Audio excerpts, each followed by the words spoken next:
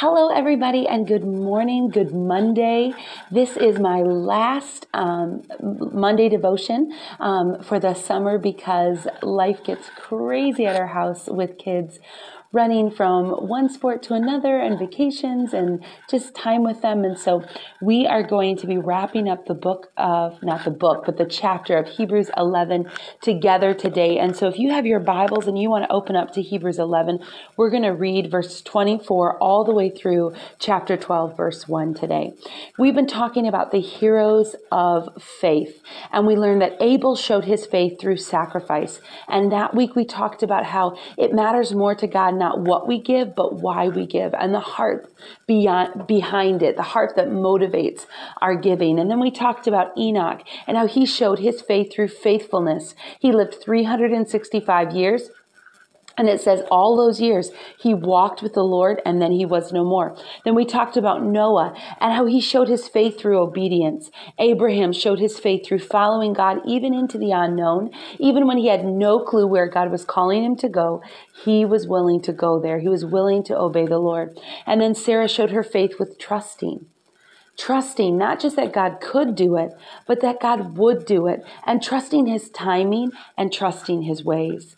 And then we learned about Isaac and Jacob and how they passed their faith on. And then Moses' mother and how she showed her faith through letting go through taking him to that Nile River, placing him there, lifting her hands, and walking away. And last week we talked about are there any of us that need to take something and lay it down at the feet of Jesus, take our hands off and walk away? Are there things that we've been holding on to, cares that we've been carrying that we need to give to Him? The Bible says, cast your cares on the Lord. That word literally means throw them on God.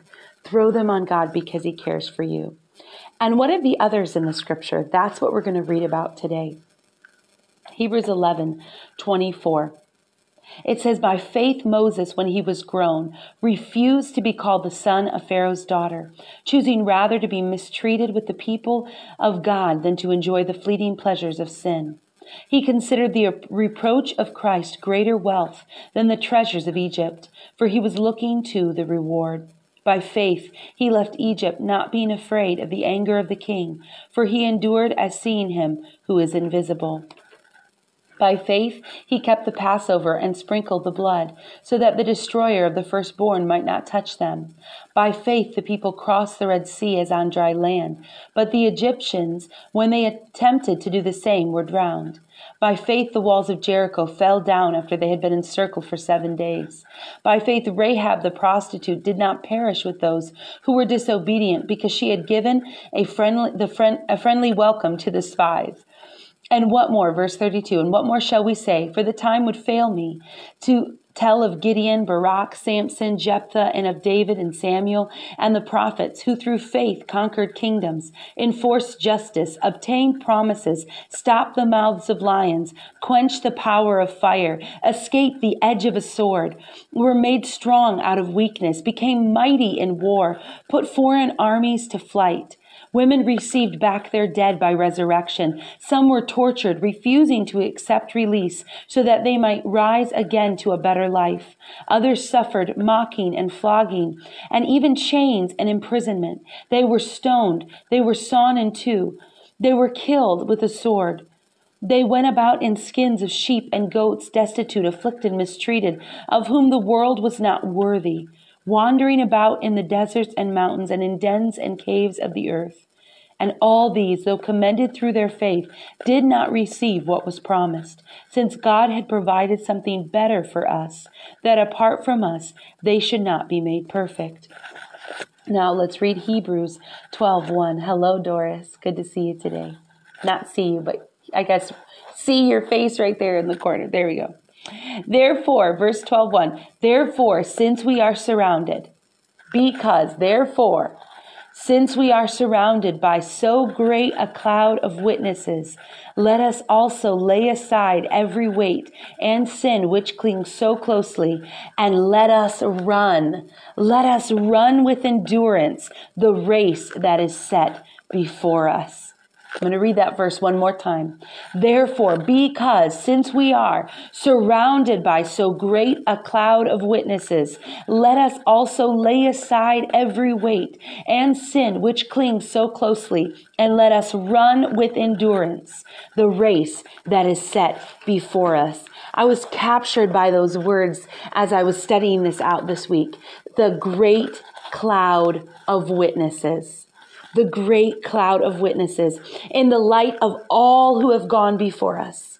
Remembering the stories, uh, their stories, as living proof that those who put their faith in God will not be put to shame following in their footsteps. You know, yesterday we sang, I see the evidence of your goodness. And every time we sing that song, I feel like my heart is about to explode out of my chest.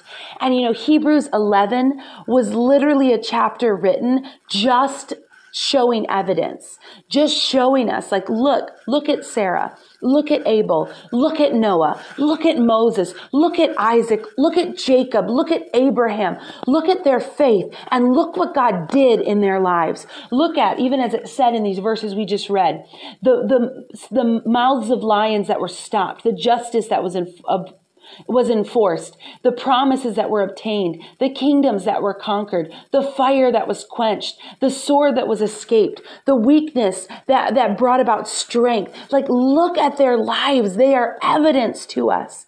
We are surrounded by a great cloud of witnesses, lives that prove to us that if we will put our faith in God, we will not be put to shame. The Old Testament, the New Testament is full of stories of people that we can look to and say, listen, the God of the Bible is the God of today. And when they put their faith in God, they were not put to shame. And here's what I know about my God. Hebrews says that he was the same yesterday as he is today and he will forever be. So that means that if it worked for them, it'll work for me. God will be faithful to his word. He will keep his promises to me. Their lives are evidence to us of his goodness, his faithfulness, and his reality. And knowing this, seeing their stories, reading their stories, we are encouraged to lay aside everything that holds us back everything that holds us back, and to run with endurance the race that is set before us. We are encouraged not to give up. Their lives are to be hope to us. Hope to us. Don't give up. Whatever you're going through, whatever you're facing, whatever you go through in this life, don't give up. Run your race with endurance. Why? Because we have a cloud of witnesses. We have people that we can go back to their stories and read again and again and again. Reminders, evidence of God's faithfulness, of His goodness, of His reality, of the truth of His promises. And the next time that you want to give up, that you want to throw in the towel, that you want to just be done, that you're tired of waiting or trusting, I want you to remember the blessing that followed Noah's obedience. I want you to remember the baby that Sarah held in her arms, just like God said she would. I want you to remember Moses' mother and how she saved his life by having the faith to let go and trust God. I want you to remember Israel walking across the Red Sea. I want you to remember Daniel and the mouths of the lions being shut and his life being spared because of his faith in God. I want you to remember those that have gone before us. Abraham, how he was willing to go to the unknown and what awaited him there. I want you to remember those things because God is who he says he is. God is who he says he is. I say that, I think, in every Monday morning devotion that I do because I just want us to get it. God is who he says he is. He's who he says he is. And the God of the Bible is the God of today. He is still the same God. He is still able. He is still the I am that I am. He is still Jehovah Jireh, our provider, Jehovah Rapha, our healer. That is who He is, and that will never change. That will never change. I love the scripture in James. I'm going to go there. James 1. If I can find it. There it is. James. It says in James that there is no shadow of turning with him. And I've really been thinking about that. There is no shadow of turning. And I researched that and I studied that out and I realized that when he said that, he was talking about how we are in constant motion and in constant you know rotation orbit around the sun. And and there's always there's season change. There's days morning and night morning and night. And there's change happening all around us all the time. But in our god there is no shadow of turning there is no shadow of turning. It doesn't matter what day it is. It doesn't matter if it's morning or night. It doesn't matter if it's afternoon. It doesn't matter if it's spring, summer, winter, fall, what month it is, what year it is. It doesn't matter. He does not change. There is no shadow of turning in him. And I pray that that would encourage you and that would just bring hope to your heart. And the next time that you start to, to question, the next time that you want to give up, remember, there is no shadow of turning in our God. Our Father, He is the same yesterday, today, and forever. He's exactly who He says He is right now in this moment, as He was five minutes ago, 10 minutes ago, 10,000 years ago. He is the same. He doesn't change. There is hope today. Have faith. And then I want to encourage you to do this.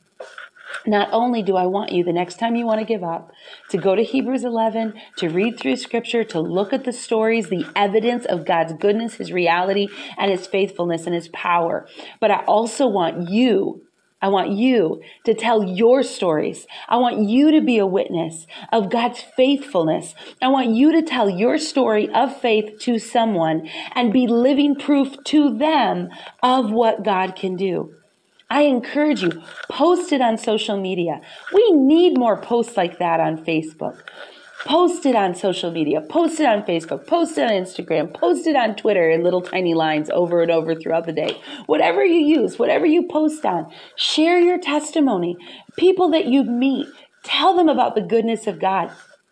Tell them how God has moved in your life, how He's healed you and saved you and set you free. Tell your testimony. Be a witness of the reason that it's totally worth it to trust God and have faith in Him. Share your story. Be living proof for someone else. You never know how your story is going to encourage them to keep going and run their race with endurance. Maybe they felt like giving up, and the moment they hear your story, there's hope in them. Hope to keep believing, to keep trusting. Maybe you were a prodigal that your parents prayed for and you returned. Share that story because the mom of the prodigal needs to hear that there is hope. Maybe you are battling through sickness and you have found healing. Share that story because now people that are battling through sickness, they need that hope. They need that encouragement. Our lives are evidence we are evidence of the goodness of God, of the power of His salvation. We are evidence of who He is and that He's still doing what He did back then, now. So share that story. Share your testimony. Be bold about it. I love Romans where he says, I am not ashamed of the gospel, for it is the power of Christ unto salvation. Paul knew the power of the gospel. He knew what it meant to people who were perishing. And I encourage you, you know too. And so do I. And we have a story to tell. We have stories to tell. I can think of so many from my own life that I could tell and I could be a witness to somebody else, cheering them on and saying, don't give up because here's what I know about God. He made this promise and he was faithful to it. And he kept his word in my life and he has been faithful and he's my healer and he's my savior and he's my deliverer. And when I was bound in low self-esteem and when I was bound by insecurity, he set me free. He broke me free out of all of that. And he made me brave and he made me bold. And, and, and you can share your story and what, what it can do, how it can encourage the people around you. So that's my challenge for you as we wrap up these Monday morning devotions together. I encourage you to share your story. Post it here in the comments so people that watch this video throughout the week can be scrolling through and seeing testimony after testimony. Share it in your social media, share it with your friends, call somebody today, write a letter. You know, mail a postcard. Say, God, who needs encouraged? Who needs a witness of your faithfulness today? And share your story with them. It maybe it's in the supermarket and you're waiting in the grocery line. Look for opportunities to share your story. You are evidence of God's faithfulness and his goodness. Let the world know he is everything that he says he is, and he does everything that he says he will do. Have an awesome week.